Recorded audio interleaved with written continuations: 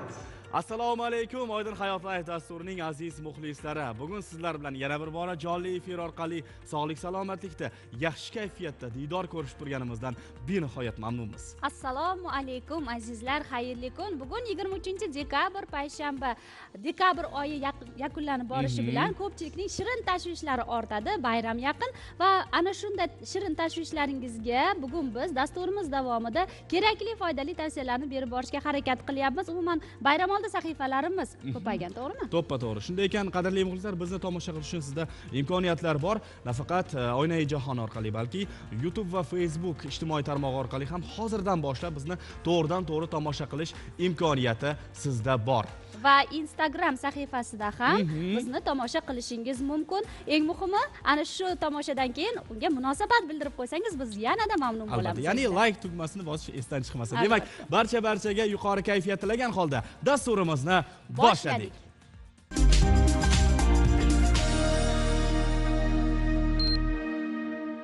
Qadrli muxlislar an'anaga ko'ra hozir biz anonsimizni tanishtirib o'tamiz. Shirin gazli ichimliklar ularning organizmga ta'siri qanday? Rostdan ham ular hazm tizimiga yordam bera oladimi? Shu va boshqa savollarimizga shifokor dilshod tursunovdan birgalikda javob olamiz. Assalomu alaykum dilshod assalomu alaykum xush kelibsiz.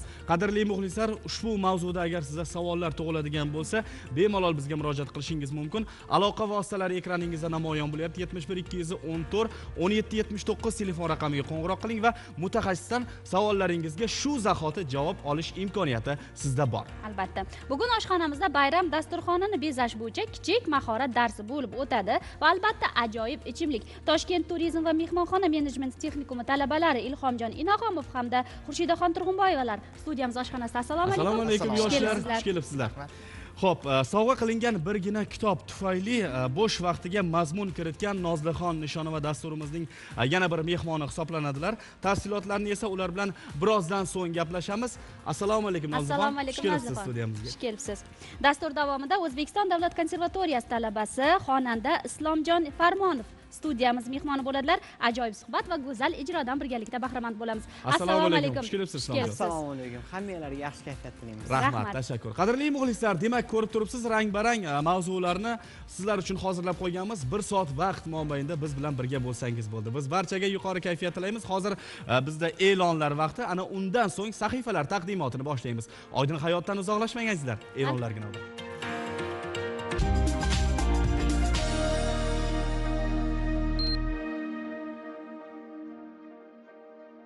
Assalom. Bizga gul tutganlar assalom. Bizlarni kutganlar assalom. Bizga gul tutganlar hurmatli muxlislar oydin hayot live dasturi davom etadi. Biz mana shunday jo'shqin kayfiyatni sizlarga e, ulashmoqchimiz va menimcha buning ustidan chiqyapmiz. Ho'p birinchi mehmonimizni tanishtirib o'tamiz. Shifokor dilshod tursunov bizning doimiy ekspertimiz. Assalomu alaykum dilshod aka assalomu Xush alaykum. xush studiyamizga. kelibsiz dilshod aka. Bugun bir mazali e, ichimlik haqida gaplashmoqchiman. Chunki o'zim ham yaxshi ko'raman. Endi bu qanchalik to'g'ri? E, gazli rangli ichimliklarsiz. Biz to'y hashamlarni oilaviy tadbirlarni yig'inlarni tasavvur qila ayniqsa yangi yil kelyapti. Hozirdan buni ko'pchilik insonlarimiz g'amlab qo'ydi g'amlab qo'ydingizmi oxunjon? G'amlab qo'ygan bo'lsangiz ko'pchilik g'amlagan chunki e, mana shu dasturxonda albatta bo'lishi kerak Mhm. deyishadi. Chunki u hazmga yordam berarmish. Aytishlaricha o'zimiz ham shunday tushunganmiz. Xo'sh bu gapda qanchalik haqiqat bor? Uning organizmga ta'siri qanday? Me'yori bormi ichishda albatta hamma narsani me'yo- me'yori bo'lgani kabi bu ichimliklarni ham me'yori bor va bu ichimliklarni unda munda bir gohi gohida iste'mol qilish bayramlarda yig'ilishlarda mana yangi yil arafasida iste'mol qilish to'g'ridan to'g'ri xavfli hisoblanmaydi. Lekin buni surunkali ravishda ko'p miqdorda oddiy suvni o'rniga iste'mol qilishga o'tib qolsangiz unda u zararli bo'lishi mumkin. Ovqat hazm qilish degan joyiga qaytadigan bo'lsak aynan bu turdagi ichimliklar emas oddiy o'zimizdagi gazlangan oddiy oq suv suv bo'ladi shirin bo'lmagan turdagisi uni ko'pincha bizada har xil o'sha nomlar bilan sotiladi bilsanglar. Ana ulardan foydalanish mumkin bo'ladi. Aksariyat holatlarda ularni ichida a, o'sha gaz gaz bo'lganligi tufayli sizda o'sha boyidagi a, ovqat hazm qilishga va ovqatda o'sha ha- harakatiga oshqozon ichak tizimida yordam beradi. Endi bularga qaytadigan bo'lsak bularni va mana hozir bu yoqqa yozib qo'ydim ahamiyat bersangiz aynan shirin har qanday yuqorida turgan xohlaganimizni olishimiz mumkin xohlaganimizni olishimiz mumkin. Aytaylik e, siz taxminan bir uch yuz millilitrni ichsangiz bizda odatda bitta katta stakanda shunaqa bo'ladi. Uch yuz millilitrni ichsangiz unda qancha shakar bor degan savolga o'ttiz besh gramm shakar bor o'ttiz bir besh gramm shakarni sizga tushunishingiz uchun aytaman yettita choy qoshiqqa to'g'ri keladi. Har bir choy Oho. qoshig'ingiz besh grammga to'g'ri keladi. Ya'ni yettita choy qoshiq siz hech qachon choyingizga yoki kofengizga yetti choy qoshiq nima qilmaysiz? Shakar yo'q yo'q juda ham shirin bo'lib ketadiyu. Lekin bir stakonida bir stakonida siz ichganingizda yetti qoshiq nima ichasiz?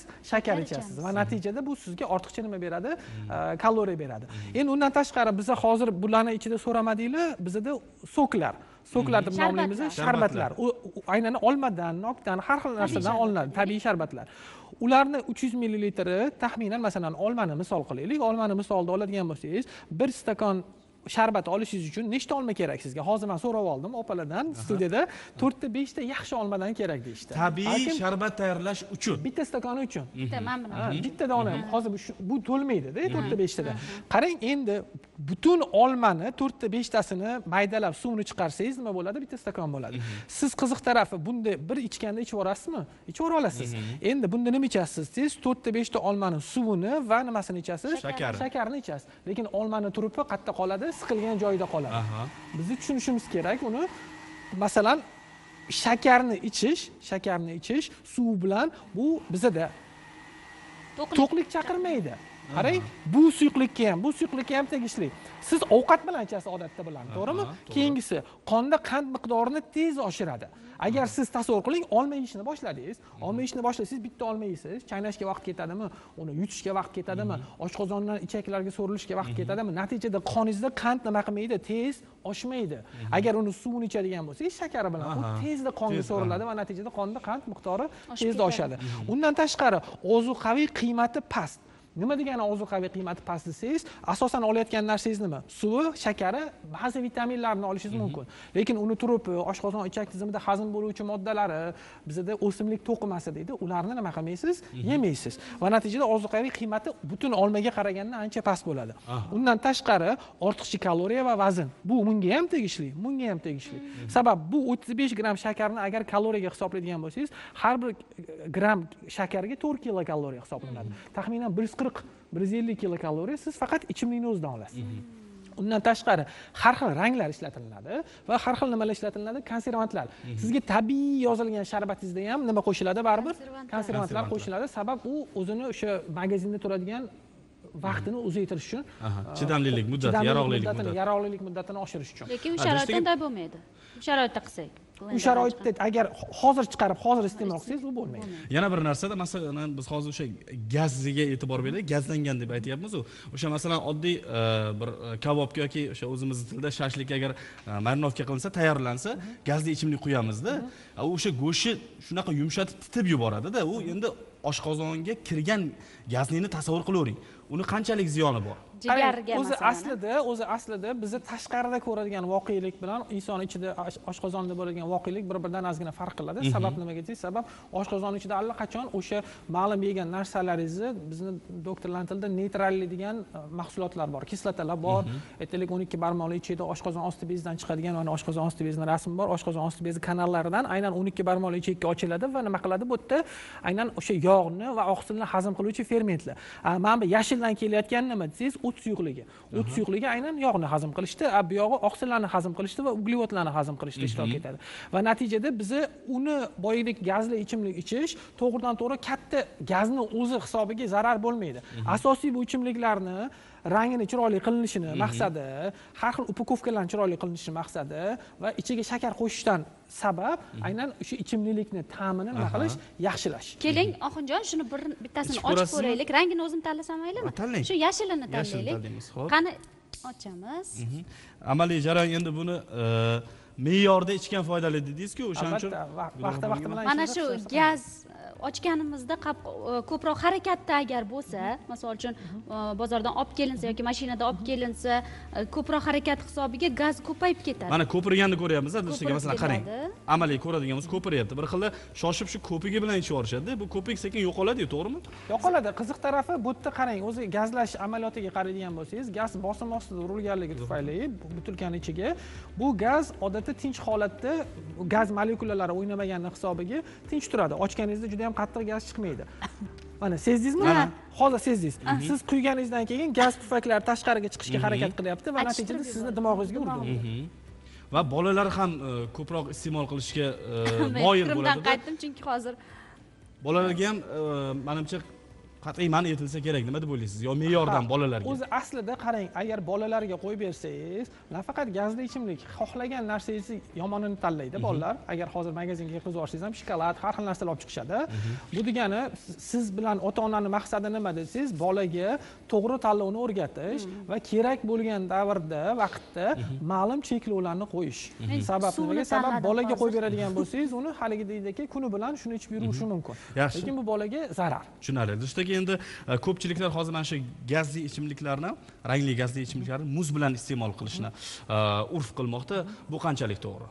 Kinolarda reklamalarda ko'rganmizku o'sha muz solib qo'yib ustiga gazli u ham ko'rinishi bir boshqacha odamni o'ziga tortadi lekin uni ortida nima bor? Prezentabelniy qilib beradida chiroyli qilib beradi. Qarang o'zi aslida buni o'zi aslida hammasiga qarasangiz o'zi ustida yozib qo'yibdi sovuq holda istem- iste'mol qiling deb. Bu ichimliklarni hammasi o'zi aslida sovuq holda iste'mol qilishga mo'ljallangan.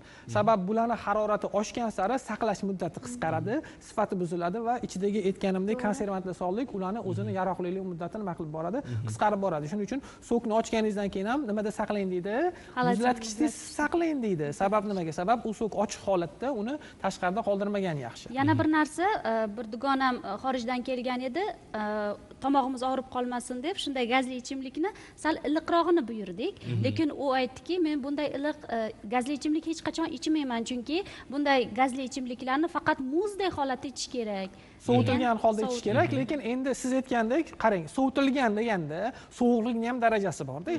Masalan bizni ta'mimiz uchun besh gradusdan boshlab misol uchun sovuq deb hisoblasak u yog'i nolgacha ham hammasi sovuq hisoblanadi. Aytaylik siz agar muz solsangiz u nolga yaqinlashadi lekin nol bo'lmaydi muzlab qolishi kerak nol bo'lishi uchun nolga yaqinlashadi. Bu degani siz aynan qaysini orasida o'zingizni qulay his qilsangiz o'shanda ichishingiz mumkin bo'ladi. U oshqozon ichak tomog'ingiz va yuqori nafas yo'llaringizni holatiga bog'liq. Yaxshi yana bir narsa. Ana shunday holatlarda uzr oxirjon mana shunday ichimliklarni zarari yanada ortadi deyish mumkinmi? Iliq holatda ichsak ha iliq holatda ortadi. Keyin o'zi aslida bu ichimliklarni aynan o'zi ishlab chiqaruvchi tarafidan sovutilgan holda ichish kerak deganni sababi ham shu o'zi aslida. Keyin ahamiyat bersangiz agar siz o'sha e, aytaylik har qanday shu ichimlikni sovuq holda ichib ko'ringda bir keyin iliq holda ichib ko'ring ko'rasiz. Ta'mi ham unchalik yoqmaydi. Yana bitta narsa qisqa javob berib o'tsangiz e, biz xalqimizda ko'proq o'sha ochilgani qolib ketadida. Keyin bir bir haftadan keyin ham iste'mol qilinadida. To'g'risi uni e, ko'pchilikda bo'lishi mumkin bu tabiiy holat. Bu qanchalik to'g'ri? Shu haqida qisqacha aytib o'tsangiz o'zi yuqorida aytdikku bu narsani yangi yangisini yangi ochilganini ham ko'p ichmagan ma'qul. Endi agar ochganingizdan qolib ketgani bo'ladigan bo'lsa u bir haftadan keyin uni imkon darajada iste'mol qilmagan Mhm, ma'qul. sabab nimaga? Sabab birinchidan u turgan joyda o'zgarishi mumkin ikkinchidan saqlanish holati yomon bo'lishi mumkin uchinchidan siz yo'g'ingizda uni ichiga har xil narsalar tushishi mumkin uni kimdir ochib ko'rishi mumkin. Har xil vaziyatlar bor qaysiki sizni nazoratingizda emas. Shuning uchun oching iching tugaganini keyin ilojingiz Tushunarli. yana bir narsa so'rang mayli hozir bir narsani so'rashim kerak. Yana bir muhim savol mana shu yangi yilda endi bayram dam olish kunlari ko'pchilik e, o'sha e, spirtli ichimlikka ruju qo'yadi ko'proq iste'mol qiladi. Bu haqida ham ozgina to'xtalib o'tmasak ayrimlar. hamma ham deyishimiz bu noto'g'ri bo'ladi. Ayrimlar shunga ruju qo'yadi va e, ichkilikdan keyin bu narsaga endi bizni xalqimizda bosh og'rig'i deyishadida o'sha gazli ichimlik o'zimizni gazlangan rangsiz gazlangan ichimlikni o'sha xuddiki odamni yaxshi qiladi deb och qoringa ko'proq iste'mol qilishadi Shunaqa. ochadi deb o'zi aslida ichkilik bilan bog'liq agar xulqlarga qaraydigan bo'lsangiz tibbiyotda bor. Ich ko'p ichadigan odamda ko'p chekish kuzatiladi. Ko'p chekishdan tashqari ko'p ichadigan odamda yoki ichadigan odamda ovqatni ham noto'g'ri tanlash kuzatiladi. Keragidan ortiqcha ovqat yeyish kuzatiladi. Spirtli ichimlik ichadiganlarda. Undan tashqari ahamiyat beradigan bo'lsangiz ertasi kungi boyagi siz aytgandek bosh og'riqni qoldirish uchun har xil nosog'lom nimalarga murojaat qilishadi. Yo'llarga murojaat qilishadi. Keyin hozir biz mana rasmlar yopishtirib qo'yganmiz. Agar shu so'ramoqchi qarasak bo'ladi. zararlari haqida qaysi organizmga ko'proq alkogolda jigarga Jigar. zarar. Chunki alkogol yuz foiz jigarda metabolizmga uchraydi ya'ni parchalanadi. Undan tashqari oshqozon osti bezi kasalliklarini eng ko'p uchraydigan ikkinchi turiga aynan alkogol kiradi. Bundan tashqari tana vaznini oshishiga sabab bo'ladi. Sabab aynan semizlikka olib kelishini sababi yuqorida aytdim birinchidan ichkilikni o'zi ortiqcha kaloriya beradi. Ichkilikda ham shakar bo'ladi tarkibida va undan tashqari ovqat ko'p yeyishga sabab bo'ladi. Kam harakatliligi ozuqaviy qiymati past ichkilikni ham va natijada biza hamma oshqozon ichak tizimini nerv tizimini zararlanishini ko'rishimiz mumkin bo'ladi boyagidek ichgandan keyin bo'shashish tilni yaxshi so'z so'zlay olmaslik qolishi oyoqni yaxshi yurmasligi bu markaziy nerv sistemasiga qilgan nimasi? Nojo'ya ta'sir sabab spirtli ichimlik ichayotgan odamni ichayotgandagi maqsadi nima bo'ladi desangiz ichayotgandagi maqsadi bo'shashish va o'zini nima qilish yengil his qilish sarxush deydi o'zbek tilida. A endi uni gapirolmay qolishi kallasini yaxshi ishlamasligi oyoq yurmay qolishi ko'ngil aynash qusish ertasiga bosh og'rishi hammasi nima hisoblanadi? Nojo'ya ta'siri hisoblanadi. Yaxshi, dilshod Dilshod aka aka, rahmat bitta narsa so'rab olay So'rang, so'rang. mana shu och qolgandan keyingi mana ko'pchilik gazini chiqarib yuborgandan keyin ichaman deydi. Gaz yoq- yoqmaydiganlar. O'sha ham zarar bo'lsa kerak agar qisqa muddatda ichsangiz mumkin. A? gazni chiqarib yuborish har xil usullari bor. O'zi butilkani ichida turganda chiqarib yuborsangiz bo'ladi-ku quyib birpas kuzatib lekin usti ochiq idishda uzoq qolgandan keyin ichmagan bo'lmaydi. Rahmat sizga. Sizga rahmat. Qadrli muxlislar ko'rib turibsiz o'sha bayram oldi arafasi. Bayram kuni haqiqatda rangli ichimliklarga ko'proq murojaat etamiz bundan ham me'yorda foydalansak albatta foydadan xoli bo'lmaydi. Yangi yil kayfiyatida baribir dasturxonimizga ichimliklarni qo'yamiz lekin ana shunda foydali organizm uchun e, zarar keltirmaydigan o'zimiz tabiiy yo'l bilan tayyorlagan ichimliklarni qo'ysak yanada foydaliroq bo'ladi to'ppa to'g'rimi to'g'ri. Ayniqsa biz e, xohlardik alkogol ichimliklar. Bo'lmasa oshxonada ham ana shunday jarayonlar ketyapti birozdan so'ng ularga ham murojaat to'ppa qilamiz. to'g'ri. Demak aka sizga rahmat deymiz. Hozir men e, gulroh opa bekorga sizni shoshirmadim. Yangi yil yaqin shunday ekan bizni o'zbek milliy qo'g'irchoq teatrida ham spektakllar boshlandi. Hozir men bormasam bo'lmaydi. Soat o'n o'n nolda spektaklim bor. Demak biz sizlarni kutib qolamiz. Yigirma beshinchi dekabrdan boshlab to'qqizinchi yanvargacha o'zbek milliy qo'g'irchoq teatrida qor malikasi spektakli namoyish etilyapti. Bir bolalikni eslab borib kelinglar albatta oxinjon biz ham boramiz. Dilshod aka siz ham e, bolajonlar bo'lsa olib boring Bemalol borishinglar mumkin. va undan oldin endi reklama huquqi asosidagi sahifaga albatta biz navbatni reklama huquqi asosidagi sahifaga beramiz. Marhamat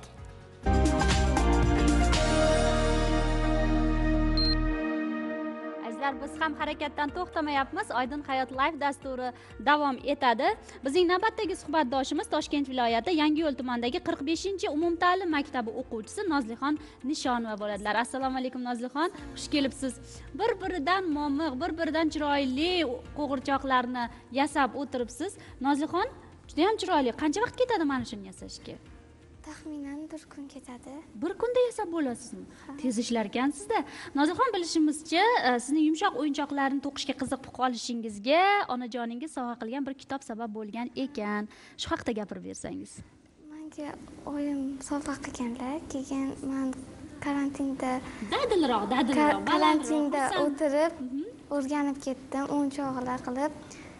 Shu keyin qanaqa kitob edi u nozirxon вижи и Aha, avtori svetlana Sri- snejin degan unda nima o'rgatilgan shu to'qish o'rgatilganmi shu to'qishlarni o'rgatilgan necha yoshidasiz o'shanda birinchi zanjir olib qiziqishim olti yoshdan boshlangan. O'tgan yili gruppa ochib to'qishni boshladim o'yinchoqlar. To'qishni boshladingiz o'yinchoqlarni. Hozir onajoningiz ham mana shu yerda studiyadalar birga ularni chaqirsak birgalikda suhbatni davom ettirsak nima deysiz? Marhamat nozlixonning onalari nodiraxon opa nishonova xush kelibsiz. Assalomu alaykum marhamat. Nodira opa xush kelibsiz. Assalomu alaykum. studiyamizga sizni ko'rib turganimizdan xursandmiz. Keling mana shu qizingiz anchagina tortinchoqroq ekanlar. Lekin qo'llari gul. Sizdan shu haqida so'rasak kitobni nima maqsadda sovg'a qilgandingiz? Qanday ta'sir qildi? Va bugun natijasi juda go'zal. Mhm. avvalambor hammanglarga assalomu alaykum. Qizimni shu turtki sabab birinchi man o'zim to'qirdim. O'zingiz to'qirdingiz. O'zim oldin to'qirdim. Shu keyin zanjir olishlarni shu olti yetti yoshlarda o'rgandi o'tgan yili karantin. Zanjir olish endi to'qish to'g'rimi? Ha birinchi boshlanishi. kurchok ushlash. Kurchok ushlash. boshlanishi. Meni qizim ham shunaqa e, boshlaganda shuning uchun so'rayapman. kurchok o'sha qiyinda baribir boshida ushlash uni anaqa qilish. И keyin nima? O'tgan yili karantin nimasi bilan shu uyda o'tirganda shu boshlanib munosabat bilan boshlanib ketdi. Ha demak bo'sh vaqtdan oqilona foydalanib qolibsizlar. Hmm, shunaqa ha yaxshi. Hozirda guruh guruh ochganman deyaptilar. Ha. to'quvchi qizlar guruhimi endi u? Yo'q bu zakazga. Ha buyurtmalar qabul buyurtmalar qilinadi keyin jo'natamiz. Nozlixon qanaqa buyurtmalar kelib tushyapti? Ota onalardan asosan to'g'rimi? Ota onalardan Mhm. qizlariga yangi yilga. Yangi yil. Har xil razmerda har xil anaqada zakaz qilishadi. lekin bir narsaga havas qilish mumkin. Nozlixon necha yoshsiz? O'n bir yosh. O'n bir yosh o'n bir yoshli qizaloq mana o'zini qiziqishlarini daromad manbaiga aylantira oldi aziz muxlislar. Barchamizga o'zi umuman ibrat bo'lish yoshga qaramas ekanda. Shunaqa ekan. A, mana nozlixon hozir ish bilan bandlar ko'proq ish qilgilari kelyapti ko'rib turibmiz. Mana aytyapsiz ota onalardan bayramlarga tug'ilgan kunlarga farzandlari uchun sovg'alar buyurtma berishadi Buyurtma qilishadi. to'g'rimi? To'g'ri. lekin ba'zi do'st dugonalar bir birlariga shunaqa sovg'alarni sovg'a ham shu so- sovg'a ham qilamiz. Hozir shunaqaga ham o'tyapti kimni tug'ilgan kuni bo'lsa sovg'a uchun ham to'qib beraveramiz lekin yana bir haqli savol tug'iladi. O'n bir yoshli nozlixon ayni paytda maktab o'quvchisi ya'ni o'sha yangiyo'l tumanidagi toshkent viloyati yangiyo'l tumanidagi qirq beshinchi umumta'lim maktabida nechinchi sinfda o'qiysiz beshinchi beshinchi sinfda o'qiysiz ayni o'qish qizg'in pallaga kirgan katta katta bir fanlarni o'zlashtiradigan paytingiz xalal bermaydimi? Qancha vaqt ajratasiz bu uchun va dars qilish uchun? Dars uchun ikki yarim uch soat. Har kuni. Har kuni. Uyga vazifalarni bajarish uchun. Ho'p bu uchun? O'qish uchun shu besh olti soat. Mhm. o'zi qaysi fanlarni yaxshi ko'rib o'qiysiz? Sevimli fanlar bo'ladiyu baribir. Hamma fandan deyish endi to'g'risi rus tili bilan. Rus tili. Rus tili yana? Keyin anaqa texnologiyada. Texnologiya. O'zi mana shu ya'ni qo'l ishlarini o'rgatadigan e, fan. Bu bo'yicha aynan siz eng a'lo baholarni olsangiz kerak. Chunki mana yaxshi o'qiydi maktabda a, maktabda yaxshi o'qiydilar dugonalaringizga ham o'rgatib yoki ular sizga qiziqish bildirgan paytlar ham bo'lganmi? Yo'q ular menga qiziqish anaqa qilishmaganmi lekin to'qiganlarimni ko'rishgan maqtashgan. Mhm, maqtashgan. Ha. A, o'qituvchingiz ham bunga yaxshi munosabatda bo'lishsa kerak. Maktabdagi turli e, tanlovlar ko'rgazmalarda qatnashsangiz qaysi tanlovda qatnashdingiz?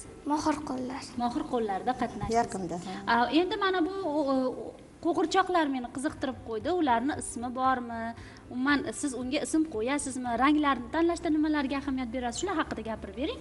Ranglarni oyim tanlab beradilar Ha, ko'pincha siz tanlab berasizmi? ular tanlab bergandan keyin mijozlarga ham aytib ko'ramiz. Ho'p desa to'qishni boshlayman. Ismlari bormi bularni? Ismlarni biz qo'ymadik o'ylab ham ko'rmadik o'ylab ko'rmadingiz a hali. Lekin mana sizga oydin hayot live dasturidagi ishtirokingizdan yaxshi bir e, taklif qo'g'irchoqlaringizni nomlang ularni ranglarini tanlashda onangizga ham fikr bo'ling. Chunki ranglar dunyosi ham insonni ichki olamini ko'rsatib berishga harakat qiladi. Nodiraxon opa bu bo'yicha nozlixonni o'ziga tashlaganingiz ma'qul bundan keyin tanlovni o'zi o'zi qiladi u klientlariga. Qaysi biri mijozlarga. qaysi biri ipli tanlaysiz deydi. Shunaqa ha asosan buyurtma bilan shug'ul buyurtma asosida to'qiganlar uchun mijozlarni ixtiyorlarini Hmm, ixtiyorlarini birinchi o'ringa qo'yganlari to'g'ri albatta. Mhm. Nozlixon mana hozir e, beshinchi sinfda ekansiz. Kelajakda qaysi kasbni tanlamoqchisiz? Neyroxirurg doktor shifokor bo'lmoqchimisiz neyroxirurg albatta bu juda ham yaxshi. Uning uchun e, bilasiz qaysi fanlarni ko'proq o'zlashtirish kerakligini va e, tibbiyot sohasida faoliyat olib borish juda yam mas'uliyatli. Unda inson hayoti birinchi o'rinda turadi salomatlik va uning uchun ko'p o'qiladi. Ko'p e, ana shu jarayonda bu hunaringizni tashlab qo'yasizmi yoki yana davom ettirib ketaverasizmi kelajakda vaqtim bo'lsa davom ettiraman. Mhm, vaziyatga qarab davom ettirasiz sizdan kelajakda yaxshi neyroxirurg chiqishiga umid qilamiz. A, nodir opa nozlixonni mana shu qiziqishlarini ro'yobga chiqarishda siz ancha turtki bo'lgan ekansiz. Shunaqa. bu borada mana bitta farzandini yaxshi bir e, hunarni egallashiga turtki bo'lgan ona sifatida mana shu onalarga o'zingiz tengqur onalarga nimalarni deya olardingiz maslahat bera olardingiz maslahatmi farzandlar taklif deylik mayli maslahat demaylik. farzandlarga ko'proq quloq solish kerak.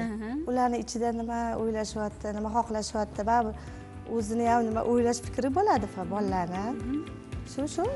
Shunaqa deb aytaman. Onalarga ko'proq farzandlariga quloq solishsin. Nodira opa, Nozlixon, kelganligingiz uchun rahmat. Studiyamizda sizni ko'rganimizdan xursand bo'ldik. Mana bular haqida so'ramabman. Bu o'sha o'yinchoqlar, qo'g'irchoqlar uchun kerak bo'lgan hamma ashyolari ko'zlari burunchalari mana kiprichalar bularni shu do'konlarda o'zi maxsus joylardan xarid qilinadi. To'g'rimi? hammasini Juda ham yaxshi. A, Omad tilaymiz ishlaringizga. A, Buyurtmalaringiz yangi yil arafasida ko'p bo'lgan bo'lsa kerak. Bunga tabiiy holat. Shuning uchun ham sizni ko'p ushlab turmaymiz, lekin mana shunday chiroyli qo'g'irchoqlar, o'yinchoqlar bilan bizni studiyamizni bezaganingiz uchun rahmat deymiz. Yoshingizga nisbatan ancha uddaburon ekanligingiz, o'z kasbini yaxshi bir mutaxassisi bo'lishiga, ya'ni o'sha hunarini egasi bo'lishga harakat qilayotganingiz uchun rahmat deymiz. Kelajakda o'zingiz xohlagan neyroxirurg, shifokor bo'ling. Buning uchun yaxshi o'qing. Sizga ishonamiz, umid qilamiz. nodir opa, katta rahmat ishtirokingiz uchun. Demak, hozir oshxonadagi jarayonlar ham bizni tayyor bo'lgan ko'rinadi. O'sha turizm texnikumi talabalari, Toshkent turizm texnikumi talabalari hozir oshxonamizda. Ular bilan bir ozdan so'ng e, suhbatimizni davom ettiramiz. Hozir esa O'zbekiston telekanalida e'lonlar vaqti birozdan bizdan uzoqlashmang. Birozdan so'ng oshxonada ajoyib retseptlarni birgalikda guvohiga aylanamiz.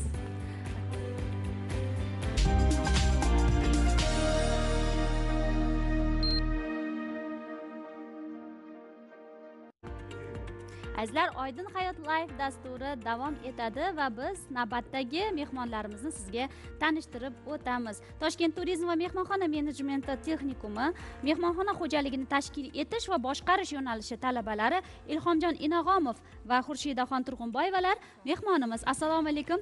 Xush kelibsizlar. To'g'risi sizlarga havas qildim. Negadir mehmonxona ishini tashkil etish, mehmonxona menejmenti sohasiga juda ham qiziqar edim. Chunki mana ko'p biz bilamiz xorijiy seriallar, xorijiy filmlarda va o'zimizda ham shunday seriallar olingan mehmonxonada ishni tashkil etish, mehmonlarga, mijozlarga xizmat ko'rsatish. Bu juda ham qiziq yo'nalish va o'zingiz mana shu sohaga qiziqib kirib kelganmisiz? Avval shu haqida so'ramoqchi edim. ha chunki mana o'zimda ham mana shu seriallar kinolarni ko'rganda Shunda qiziqib ha qolgansiz. shunaqa bo'lgan va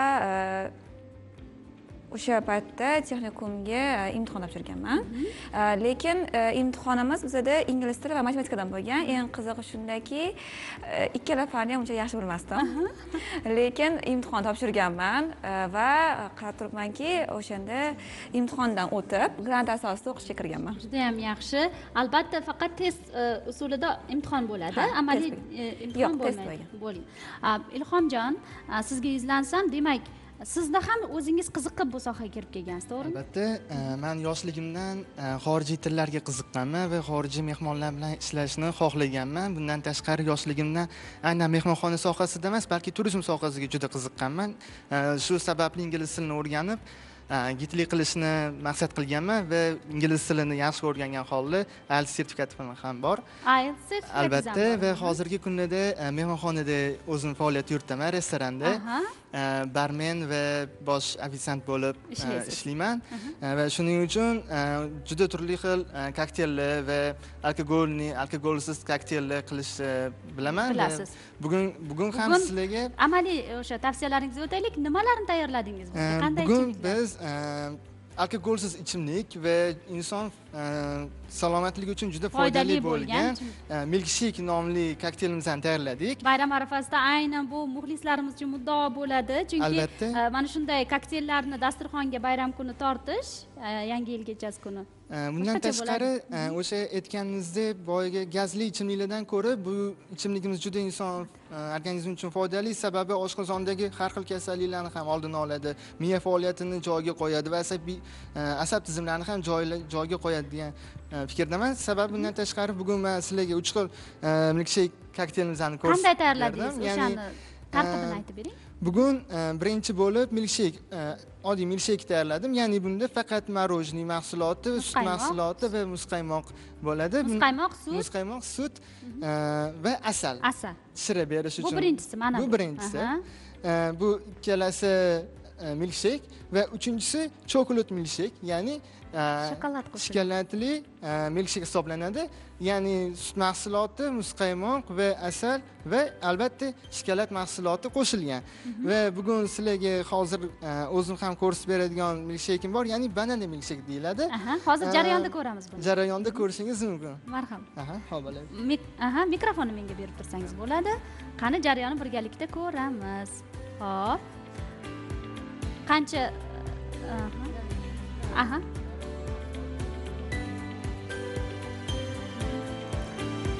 qaymoq solinyapti hozir blenderga.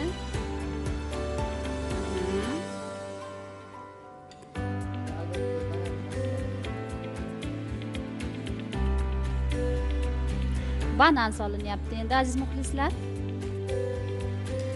Ko'rib turibsiz qancha miqdorda solayotganlarini ilhomjonni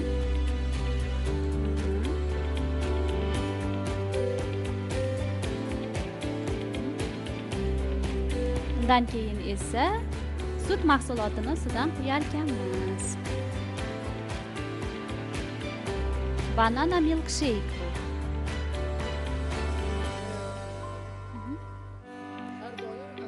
Mikrofonni oling. Mhm. Har doim asosan e, har xil siroplarimiz bor siroplardan foydalanamiz ammo bu siropli inson uchun har xil ta'sir qiladi. Har bir inson uchun har xil ta'sir qiladi va e, mehmondan o'zimiz so'rab e, o'sha siroplarni solib beramiz va bugun man sizlarga sirop emas asal bilan tayyorlanish jarayonini ko'rsatib beraman. Marhamat.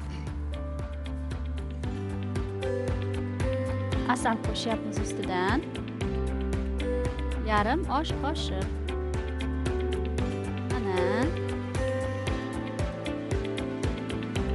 Demak turli xil siroplarni ham solish mumkin ekan ammo bu yerda o'ta o'ta foydali va tabiiy bo'lsin deb asal solinyapti. Tavsiya qilamiz yangi yil dasturxoningizga ichimlik sifatida aziz muxlislar. Va yopib blender qopqog'ini endi uni chayqab aralashtiramiz ya'ni. Aha. turli xil gazli ichimliklardan ko'ra albatta mana shunday yoqimli tabiiy ichimlikka o'tganimiz ma'qulroq.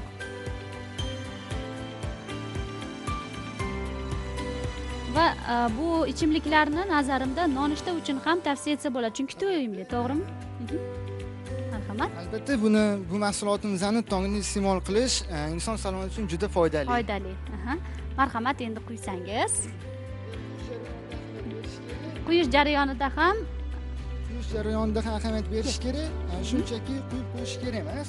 Va buni e, ustida penkasi bo'ladi va penkasi bilan birga tushishi uchun ozgina aylantiramiz va chayqatgan holda quyamiz. Marhamat. Ya'ni ko'pigi. Albatta. Ya'ni ko'pigini. Judayam chiroyli ko'rinishlari ajoyib.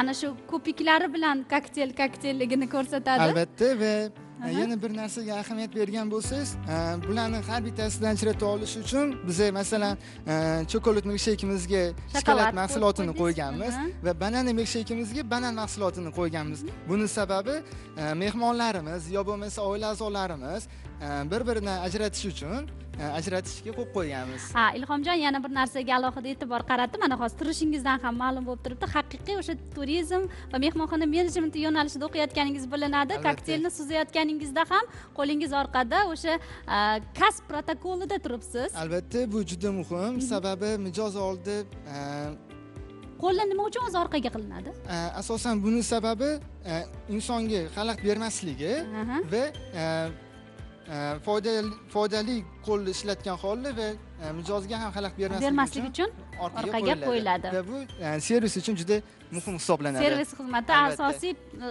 dunyo standarti bo'yicha dunyo standarti bo'yicha tanlangan. qilinadi. Ho'p endi dunyo standarti bo'yicha menga mana shulardan qaysi birini tavsiya etasiz? Albatta man tavsiya etadiganim ko'rmasam bo'lmaydi.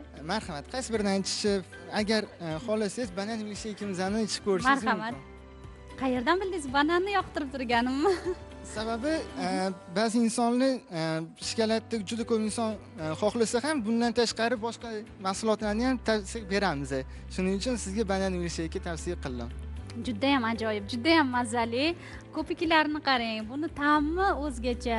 Albatta o'zim yangi yil dasturxonida mana shu nasib qilsa shu kokteylni tayyorlayman. Oila a'zolarim uchun ham. Tavsiya beraman. Rahmat sizga. Yana bitta totib ko'ray marhamat va endi suhbatimizni biz bu yoqda ham xurshidxon bilan ham davom ettirishimiz kerak. Bu sizda turaversin agar qo'shimcha qo'shimcha kiritadigan gaplaringiz bo'lsa bemalol davom ettirishingiz mumkin. Rahmat aytamiz juda yam mazali aziz muxlislar yuz foiz ikkilanib o'tirmasdan tayyorlashingiz mumkin. Va xurshidxon endi mehmonxona e, menejmentidagi eng asosiylardan biri bo'lgan mana shu e, sochiqlarni taxlash ularni dasturxonga chiroyli bezatish har birini o'zini usuli aytar gapi bo'lsa kerak tagida to'g'rimi? Mana shu haqida aytib bersangiz bizga. U- restoran sohasida umuman olganda mehmonga iloji boricha salfetkaga qo'li tekkizmagan holda ofitsiant salfetkani yasashi kerak. Umuman olganda judayam ko'p turi bor salfetkani yasashi ayniqsa mana bu biz biladigan shu shu e, mashhur restoranlarda ko'proq mana bunday usuldagi e, taxlamlarni uchratamiz. Umuman e, mana shu dasturxonda sochiqlarni taxlash ham mijozga bo'lgan alohida bir e'tiborni va uning dasturxonni ko'rki hisoblanadi to'g'rimi? Necha xil usuli bor va qanday usullarni hozir bizga tavsiya etasiz? Balkim orada men ham qo'shilarman o'rganib olarman mana deb Uh, o'zi umuman olganda uh, salfetkalarni taxlashni juda ham ko'p usuli bor. Va hozir yangi yil bayrami kelayotgani sababli dasturxonda chiroyli turadigan salfetkalarni taxlash usulini sizlarga o'rgataman. Marhamat. Sizlarga gaplashib bo'lgungacha man ikkitasini tayyorlab qo'ydim. Buni ham hozir mana bunisini ham keyin unisini va boshqa yana yo'nalishlarni o'rgatsangiz birgalikda qilib ko'rsin maylimi? Mhm, bo'ldi. Ho'p hozir siz bilan atirgul tayyorlaymiz. Atirgul tayyorlaymiz. Buning uchun uh, uh, salfetkamizni birinchi uchini ikkinchi o'sha burchakda saqlab olamiz. Keyin buni burab chiqamiz. E, endi teskarisiga qilib buni o'raymiz bu yoqqa. Qanchalik? qarab o'rab chiqamiz. Ma- maydaroq bo'lsa maydaroq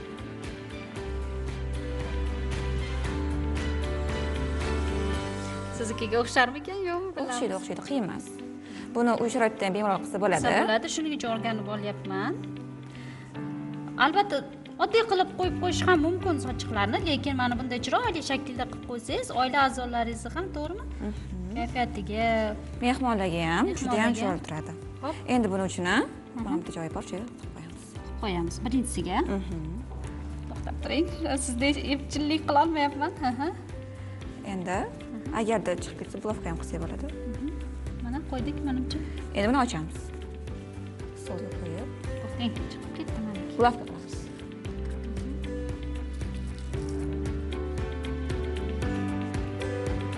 Manimcha kirgizdim. Endi buni taxlab bo'lgandan keyin tepadagi ikkita uchini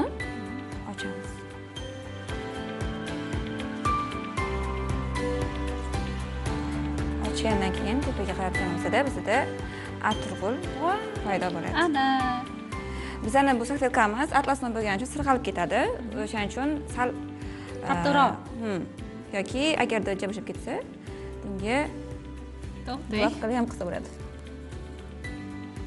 muxlislar meni ma'zur tutasizlar birinchi marta bunday atirgul tayyorlashim albatta mutaxassisi mutaxassis ana qo'ldan kelgancha O'xshadi. buncha bo'ldi maniki Mhm. Shunaqa o'xshadi epladik. Epladik xullas. Buncha ochilguncha degandek. Ana endi e, siz bilan yana bir usul. Qiziqib qoldim to'g'risi. Siz bilan xohlasangiz endi mana morоженое tayyorlaymiz. Marhamat. ho'p buning uchun salfetkamizni to'g'ri to'g'ri burchak qilamiz to'rt to'rt burchak. Mhm, xuddi shunaqa endi o'ng tomondagi uchini chap tomonga boramiz. U bittasini. Mhm, ustidagi qavatini tekislab olamiz uch burchak chiqishi kerak. Endi xuddi shuni orqaga qaytaramiz bu yoq uchun. Orqaga bu qaytaramiz yog'i Mhm, o'shani bizada ikkita uch burchak hosil bo'ldi. Ikki qavatli mana mana shuni o'zini buni o'zini. Mhm. aha. Endi e, bu yoqdagi to'rt burchagimizni bu yoq tomonga boramiz. Yana uch burchak bo'ladi yog'i uch burchak bo'lishiga alohida Mhm. uchlari asosan bir biriga to'g'ri kelishi kerak. O'shanda biz yasayotgan salfetkamiz o'xshaydi. O'xshaydi. Endi qolgan qolganini ham bu yerga bilib qo'yamiz. Va bizada ha bu yoqqa burib qo'yamiz a?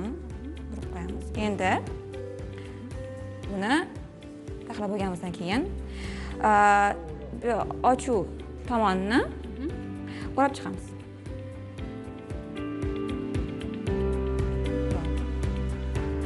Endi buni sekin ochamiz ochilsin ochilsin ochilib ketdiyu yo'q ochilsin mana uchlarini keyin to'g'irlaymiz. Siz? Oching ha bunday ochasiz aha. E'tibor berish kerak что ham hammasi ochilib ham ketmasin и yopilib ham ketmasin bir xil bo'lishi kerak bizada tasvirchilarimiz biz tayyorlab qo'ygan go'zal san'at asarlarini oldinroqqa qo'yishimizni iltimos qilishyapti ekan.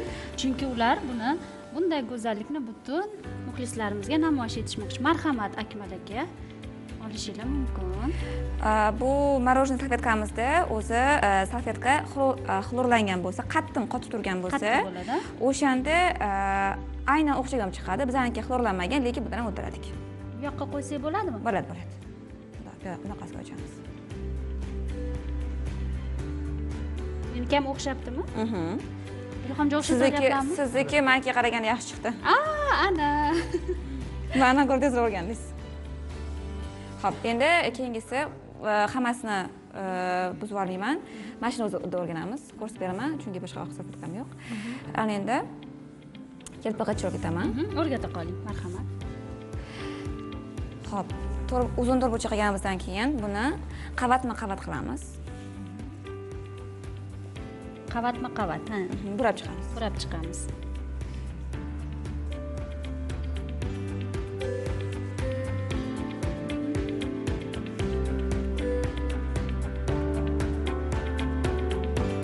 Bunda ham ahamiyat berish kerak e, chiziqlari bir biriga to'g'ri tushishi kerak. Bo'lmasa ochilganda hali o'xshamaydi ho'p endi buni teskarisini qilib e, ikkita yonni birlashtiramiz. Va hammasini mana bu yerda e, birinchisida joy bor birinchi qavatda. Hamma uchini shu yoqqa birinchi qavatga tiqamiz. Endi buni ochamiz. Ana! Va bizada kelpag'ich paydo bo'ldi. Yelpig'ich paydo bo'ldi. Rahmat sizga rushidaxon ajoyib e, bayramona dasturxonimiz uchun sochiqlar kolleksiyasi go'zallik va bu yerda ajoyib kokteyllar toshkent turizm va mehmonxona menejment texnikumi talabalariga ilhomjonga xurshidaxonga minnatdorlik bildiramiz. Azizlar turizm va menejment mehmonxona menejment sohasi judayam qiziq soha ekanligini bizdan ham ko'ra o'zingiz ham yaxshi bilasiz va mana shu yerdagi ikkita talabaga men bugun havas qildim. O'z ishlarini mohir ustasiga aylanishayotgan ekan. Minnatdormiz sizlarga. Va bugungi dasturda ishtirokingiz uchun rahmat deymiz kirib kelayotgan yangi yil sizlarga ham omadli bo'lsin. Sizga ham bor. A, rahmat va endi sizlarni nima desa bo'ladi.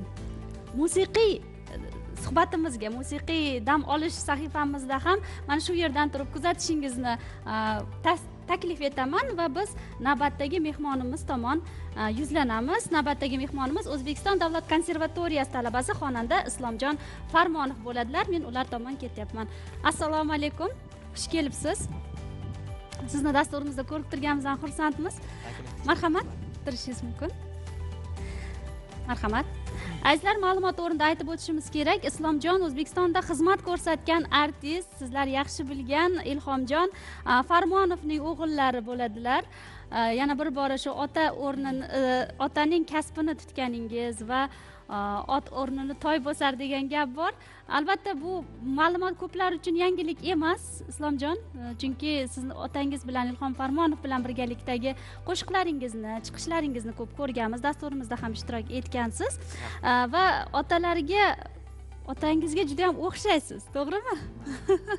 Mana shu bo'yicha san'at sohasiga qiziqishingizga ham aynan otangiz sabab bo'lgan bo'lsalar kerak a yoki o'zingiz ular boshqa kasbni tanlay qoldiganmilar avvalambor assalomu alaykum aziz yurtdoshlar aziz muxlislar eh, tele teletomoshabinlar eh, yo'q albatta bu kasbni o'zim sevib yaxshi ko'rganimdan qiziqishim juda yam baland bo'lganidan shu yoshligimdan odamlar adamlar hech qaysi ukalarimmi singillarimmi unaqa mana bunaqa kasb egasi bo'lgan yoki unaqa bo'lgan deb anaqa qilmanglar unaqa majburlamanglar.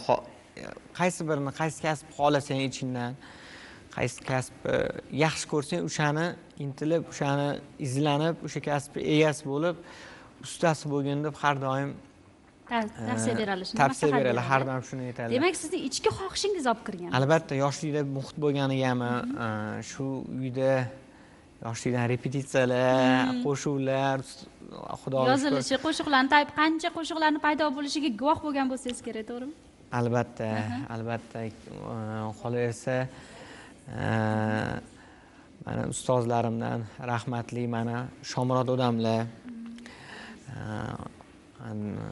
ular ko'p san'at sirlarini o'rgatganlar. Birga shu kichkina yoshligimdan birinchi shu sahnaga olib chiqib e, mani qo'shuvlarda mana shu muxlislarni oldida qo'shiq ijro ettirgan inson mana shu shomurod parmonov odamlar qolaversa tomosha guruhiga qat- qatnashganman keyin.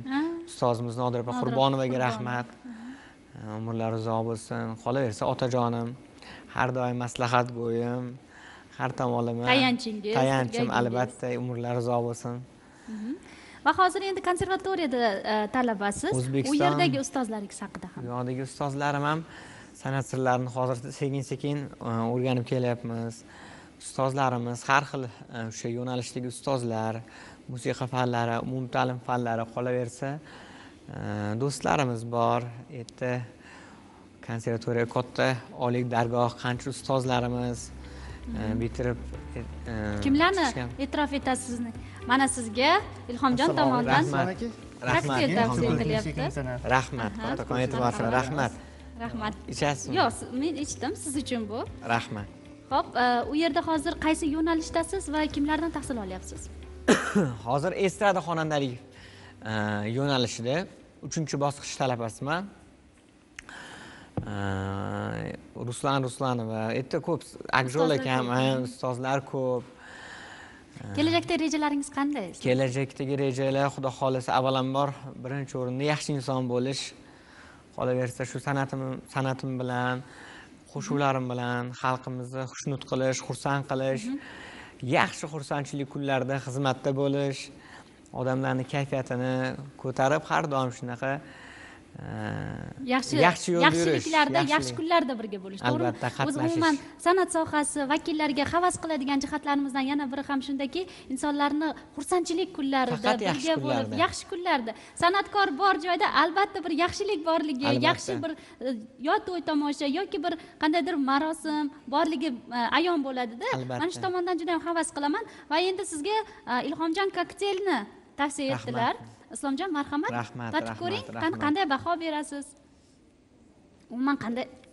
Albatta judayam shirin qo'lingiz dard ko'rmasin mana yangi yil e, yaqinlashyapti. Mana shunday paytlarda o'zingiz ham oila a'zolaringiz bilan yangi yil dasturxoni uchun birgalikda har erkaklar odatda bunday paytda faollashishadi. Yangi yil dasturxonlarini qilishda. Siz nimalar tayyorlaysiz? Qanday kutib olasizlar o'zi yangi yilni bizda har bitta bayram xudoga shukur o'zgacha nishonlanadi qolaversa mana kecha madinaxon singlimi tug'ilgan kunlar edi umrlari uzoq bo'lsin. Tabriklaymiz umrlar uzoq ertalab tongdan mana e, jiyanli bo'ldik.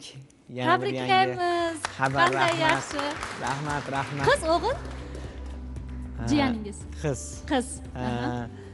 Baxtli qiz bo'lsin. Rahmat rahmat mana ammajonimiz sevimli ammajonimiz nevarali bo'ldilar. Oilamizda xursandchilik kun. Xursandchiliklar doim bo'lsin. Iloyim xursandchilik kunlar hammani xonadoni bo'lsin. Demak yangi yil dasturxoni yangi yil arafasida sizlarni oilaviy birga kutib olasizlarmi yoki xizmatlarga ketasizlarmi? San'atkor uchun to'g'risini aytsam e, yangi yil e, yangi yil kuni albatta shu bir ikki kun oldin bozorliklar boshlanadi bozorliklarni ham o'zimiz qilishni yaxshi ko'ramiz. Aha. adamlar bilan borib gaplashib bir buni gashti boshqacha. Odamlar bozorlarda keyin qolaversa savdolashib birgalikda bozor qilasizlarmi Albatta. bozor qilishni otalar o'rgatadi ko'proq o'g'illariga. Albatta man yoshligimdan adajonimlar bilan e, ko'p yurishni yaxshi ko'raman qolaversa yuraman ham. E, bozorlarda ham shu yurganda adamlar bilan ko'pchilik sizlarni ko'rib juda ham o'xshash qiyofa xuddi ilhom farmonov sal yoshlik yillari hozir qayt. e, bilganlar aytishadi bilmaganlar ukangizmi deyishadi. Shu. Judayam yaxshi. Bilganlar aytishadi islomjon hozir bizni telegram kana- manzilimiz ham ishlab turibdi. U yerga muxlislarimizdan savollar kelyapti. Ulardan biri so'rayaptilar. Islomjon uchun otalari ilhom farmonovni eng ko'p aytadigan o'gitlari nima? Nima deydilar sizga ko'proq ko'p unaqa o'gitlar o'gitlar har har joyda ibrat bo'lib gaplarni gapirib ketishsa kerakda masalan har bir narsadan xulosa chiqadi to'g'rimi samimiy bo'lgin deydilar ko'proq. Samimiy shu har doim hayotda hamma narsaga yaxshi ko'z bilan yaxshi taraflama ko'proq o'sha negativdan qochgan har doim ichingda ham qalbingda ham toza bo'lsin. Ana eng muhimi insonlar bilan yaxshi odamgarchiligingni yo'qotmagin deydilar. Har doim shunaqa haqiqiy insonni qanaqa fazilatlari bo'lsa o'sha fazilatlarga xos mana shu Hmm, demak xalqqa yaqin bo'ldi xalqqa yaqin bo'lgan birga bo'lgan u bilan albatta. bo'lgan hamma bilan shu yaxshi muomalada kamtar bo'lib ko'proq tinglagin deydilar tinglab o'sha ustozlar kim yoshing yoshi kattalar bilan muloqotda bo'lsang ko'proq tinglab eshitib o'sha nima deyishyapti o'shalarni mag'zini chaqib keyin o'zingni olib shu ko'p Rah- judayam albatta. va mana shuning uchun ham e, siz aytgandek birga bozorlarda yoki ko'cha ko'yda yursangiz ilhom farmonovning o'g'li emas ukasi deb aytishsa kerak. Bu insonga samimiyat e, xalq bilan birga bo'lish hamnafaslik va qalbning tozaligi har doim har narsadan yaxshilik hikmat qidirish bu insonning tashqi qiyofasiga ham va alohida e, urg'u beradi alohida bir yoshartiradi insonni. Islomjon ishtirokingiz uchun rahmat deymiz. Rahmat, demak hozir bu ikki ming yigirma birinchi yil mana yakunlanib boryapti ikki ming yigirma ikkinchi yil arafasida turibmiz. Yurtdoshlarimizga tilaklaringiz bo'lsa marhamat. Yurtdoshlarimizga tilaklarim avvalambor hamma hamma sog' bo'lishsin. Xonadonligida hammani xonadonida xursandchilik to'y bayram shodiyona ko'p bo'lsin. Ket uzilmasin. Eng mu- muhimi shu. Albatta. Qolaversa mana shu ko'rib turgan qolaversa butun yurtdoshlarimizni qalbidagi ichidagi yuragini tub tub tubidagi niyatlari orzulari bo'lsa hammasiga oshsin. allohim amalga oshirsin kelayotgan yil omadli baxtli. Barakali yil bo'lsin. Ilohim aytganingiz kelsin. Mana shu yilda nimaki niyatlaringiz bo'lsa amalga oshsin. Otangiz ham sog' bo'lsinlar xalq xizmatida bo'lsinlar. Doim oila a'zolaringizga ham tinchlik xotirjamlik tilaymiz. Va albatta bayramona kayfiyatni biz islomjon farmonovning qo'shig'isiz o'tkazib yubora olmaymiz. Aziz muxlislar ulardan hozir bayramona tuhfa sifatida qo'shiq tinglaymiz. Undan avval esa biz muxlislarimiz bilan biroz buguncha xayrlashib olamiz islomjon. Aziz muxlislar oydin hayot live dasturi sizlarning har bir kuningiz bayram bo'lishini xohlaydi. Chunki qachon uyda bayram yaxshi kun bo'ladi? Inson salomat bo'lsa ruhan tetik bo'lsa va o'z oldiga qandaydir maqsadlarni qo'ysa. Bu borada e, biz sizlarga tavsiyalar berishda qo'ldan kelgancha mutaxassislar yordamida harakat qilamiz. Unga amal qilish esa sizlardan. Kuningiz mana shunday bayramona kayfiyatda o'tsin. Mana endi islomjon farmonov ijrosidagi ajoyib qo'shiq bilan dasturga